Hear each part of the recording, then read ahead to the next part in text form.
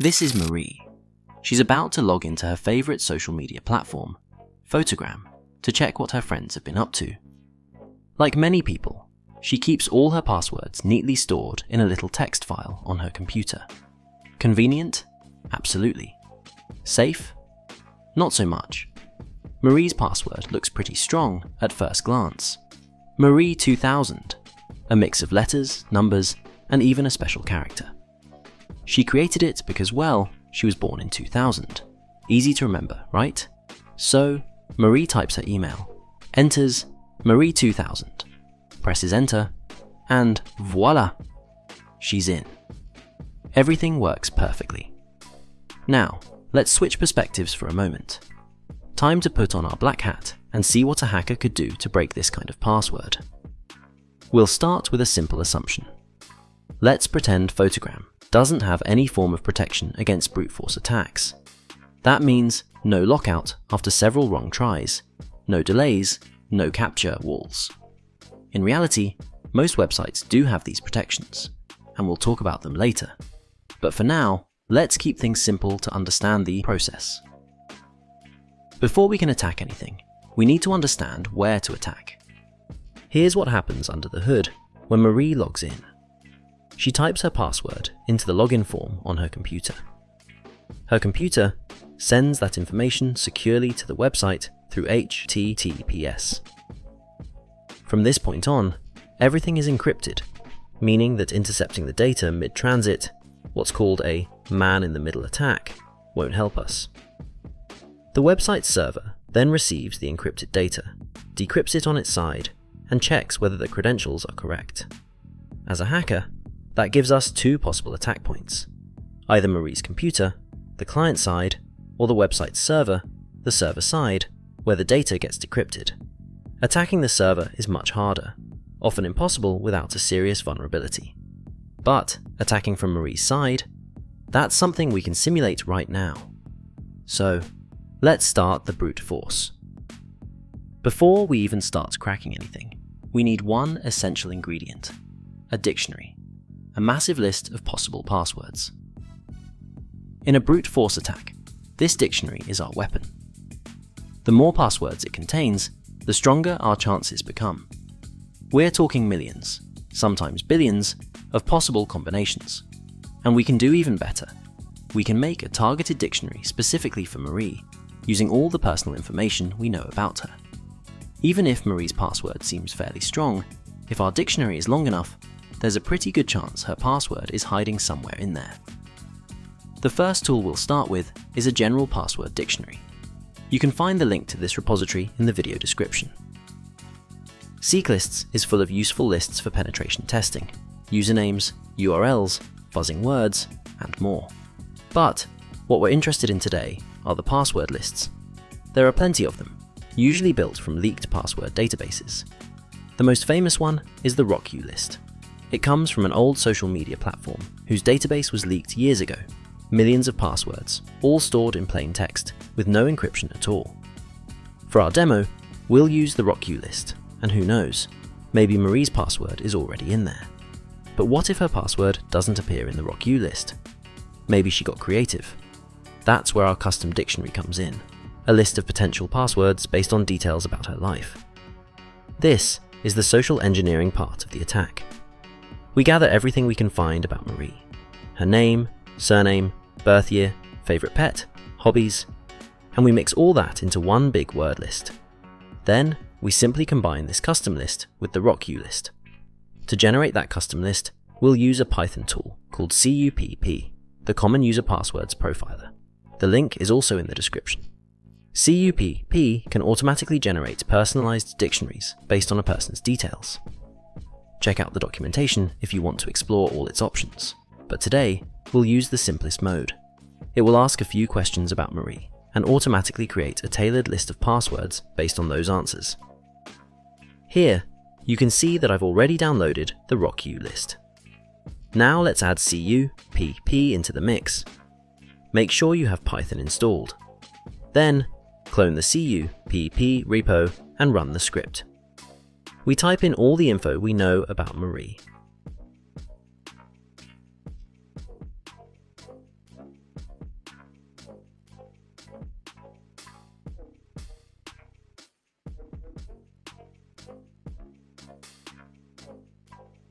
And just like that, it's done.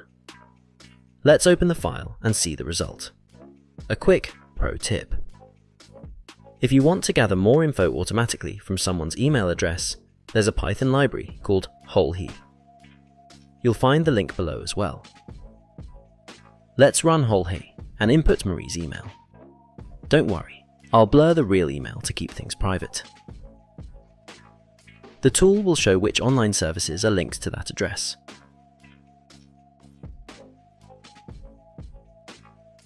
Super useful for building a more realistic dictionary. Now that we have both lists, let's merge them together into one giant word list.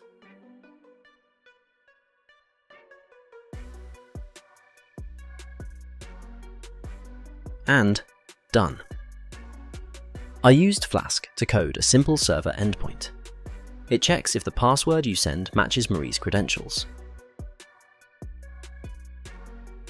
Let's update the server to use Marie's actual login and password for the test. Perfect. If it's correct, it returns OK. If not, it returns not OK. We now have a working simulation of a simple login server. Alright, let's fire up the Flask server. Now, let's open a browser and visit the server's URL. In my case, it's running locally on my own machine. You can see that when the page loads, the web server logs the request in the terminal. That means everything is working perfectly. Now, let's try again, but this time with Marie's real email and password. And we're in. It works. Okay, so we've successfully logged in manually. But remember, the whole point of a brute force attack is to automate the process. We can't sit here and type millions of passwords by hand. We need a script to do the heavy lifting for us. To make that happen, we need to understand exactly what the browser is sending to the server in the background. And for that, we'll use a tool called curl. This is the command to send a login request directly from the terminal. Let's test it first with some random credentials. The URL I'm using is the one shown by the Flask server. In my case, that's localhost on port 5000.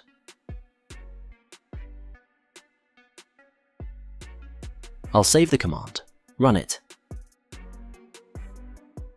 and there's the response from the server. Not OK, the login failed, as expected. Now, same command, but this time, we'll use Marie's actual login and password run it again. And the server responds, OK, success, perfect. Now that we know how to communicate with the server manually, it's time to automate the whole thing and unleash our password dictionary on it. Let's write a brute force script. To really kick things off, I wrote a very simple Python script that goes through every password in a text file, checking them one by one against the server.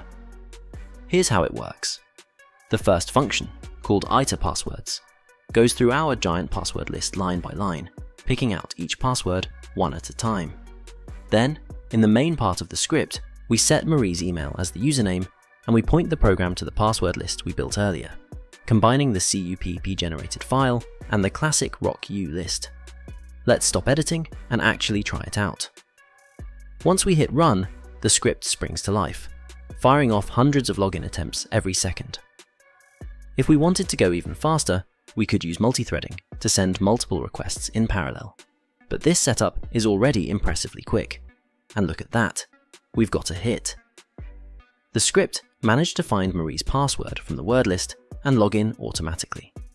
That's how simple and scary brute force attacks can be. Let's add a dose of reality.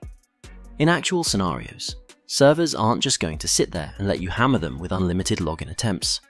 They use rate limiting, a simple technique that deliberately slows you down or outright blocks you after too many attempts. This makes direct brute force attacks almost impossible. Let me show you how that works. I'm going to tweak our Flask server to introduce a 1 second delay before each response.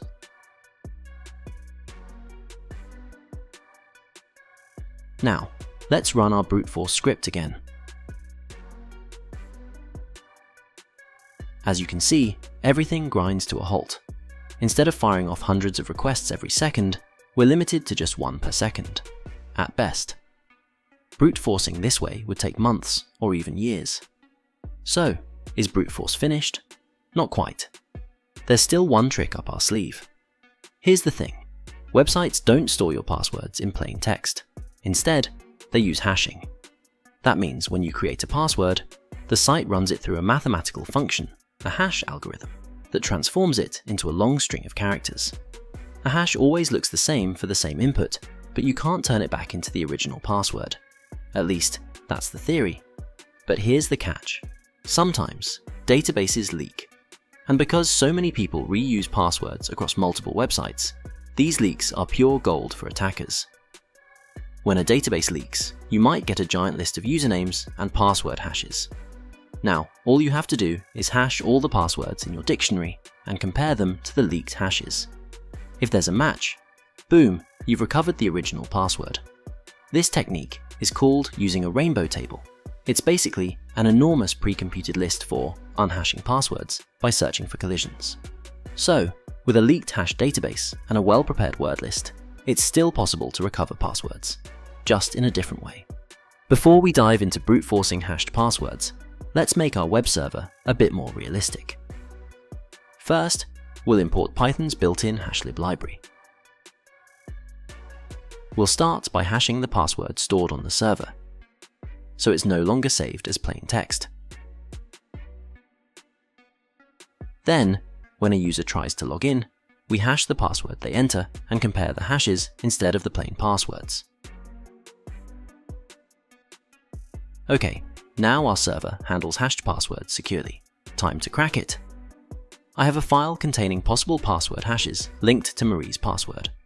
For this demo, there's only one hash in the file, but in the real world, you could have thousands. All those leaked hashes connected to Marie's email or username. Alongside, we have the word list we generated earlier, full of probable passwords Marie might have used. Now, to actually crack the hash, we'll use an extremely popular tool called Hashcat. Hashcat is powerful password cracking software that uses your computer's hardware, and if you have a GPU, graphics card, it can run much faster. It works on all major platforms, and you'll find the download link in the description below. Here's the command we'll use. It tells Hashcat to test the hashes in our file against every password in our dictionary. The m parameter specifies the hash type. For MD5, which we use in this demo, m is set to 0. Let's start cracking. It might take some time depending on your hardware, the size of your dictionary, and the hash type. On my machine, Hashcat is testing millions of passwords every second. And just like that, success. Hashcat found Marie's password by matching the hash. Let's take the password it found and try logging in on our server. And there it is. Marie's password gains us access. So, as you've seen, Marie's password really didn't stand a chance. Why? Two big reasons. First, her password isn't complex enough. It's easily guessed, generated, or found on a common word list. Second, Marie reused her password across multiple sites. That means if even a single database leaks, and, let's face it, they do all the time, her password hash is almost guaranteed to be floating around the internet. So, what should Marie do next? She actually has two solid options. The safest is to never reuse the same password on different sites and to choose only truly complex passwords. Realistically, that means using a password manager. It keeps track of all those complicated passwords for you. Or, Marie can enable two-factor authentication. That way, even if her password leaks, it's not enough to break into her account. A hacker would need that second factor too. Now, what about the website owners out there? If you want to keep your users safer, there's a simple but powerful technique. Add a salt to every password before hashing it. A hash is a lot tastier with salt. That's it for today's demo. If you enjoyed the video, please like and subscribe, and see you next time for another exploration in hacking.